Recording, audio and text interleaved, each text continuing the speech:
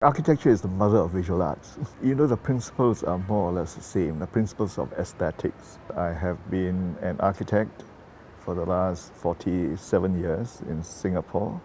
Well, uh, having studied architecture and become an architect, it has actually an extended my view of an appreciation of the arts. You know, when I was a young boy, I, you know, I, I see art everywhere. Art in nature, art in some beautiful surroundings. And I started collecting stamps at four years old. And stamps is in fact art, aesthetics, composition, use of colors, even defining spaces. Uh, there is a lot of common um, similarities in aesthetics between art, visual arts and, and architecture. And when I became an architect and uh, I had the means to acquire art with the, what I earned, I began to collect art, pictures like that.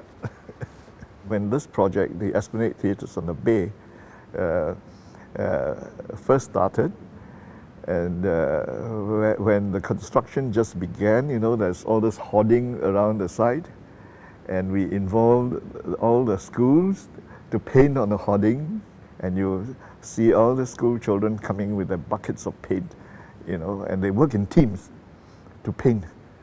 That's the sort of thing that, that uh, you know, you make art come alive. A complicated project like the Esplanade uh, uh, requires uh, ability right across the board. You know, uh, you need people who are good conceptualizer, who are people who are good in detail design, in general design.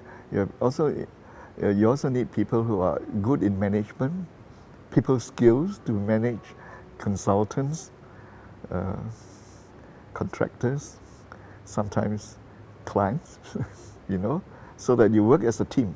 And in fact, in this project, one of my greatest joy is that I have the uh, benefit of having a good team from DP Architects and also working in, in the initial years with a foreign architectural firm called Michael Wilford and Partners, and with our team of consultants. The client helped us make a great project. And uh, Ong Teng Cheong, you know, uh, George Yeo, uh, Tommy Koh, Bernard Tan, uh, and even Kuo Pao Kun, who actually came in to critique the project, to, you know, to comment, and a whole host of other and this was a, really the result of Team Singapore.